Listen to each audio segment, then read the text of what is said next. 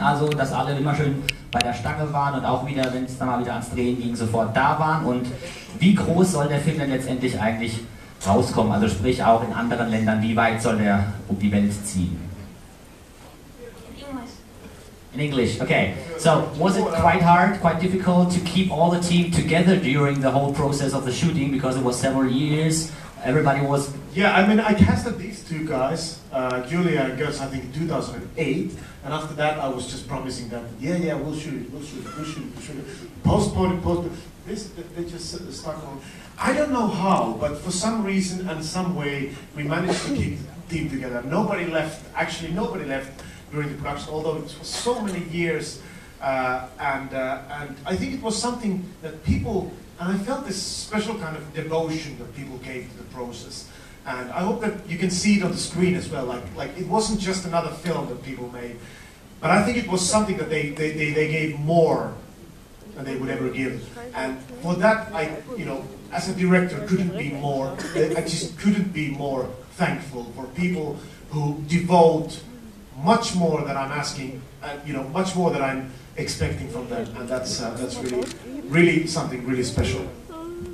So I think this is me. Okay, I think I would say I have one last final question. One last question, okay? What is, uh, after shooting the Nazis on the moon, what else can there be in your mind for your next project? My friends, uh, I'm a science fiction. I love space battles. I just, I I love space battles. That's what I like. And I have a I have a dream, my friends. I have a dream. And the dream is that that that uh, I think I think we're missing a really good science fiction television series at this point. We're missing a really good one. It's been ages since something good came on. So so that's one of the things that I'm I'm uh, th that's my biggest dream is to start to create the next Star Trek Deep Space Nine or you know Galactica or, or Babylon 5, like the, the, next great science fiction television series. We have a really good team of CG artists uh, in Tampere, Finland, who are going to do it with uh, one tenth of the price as if it would cost across the pond. And uh, I think we have a really good possibility to create create a, something really special. So that is honestly what I'm looking for. So We'll see what happens. It's a big, big task, but we'll see. Ich würde mich gerne bei allen, bei euch, dem Publikum, bei dem Team bedanken und auch verabschieden. Ganz besonders, ganz, letzter Satz von Timo noch, aber ganz besonders auch ähm, hier unserem jüngsten Darsteller Nick, der auch im Klassenzimmer mit dabei war.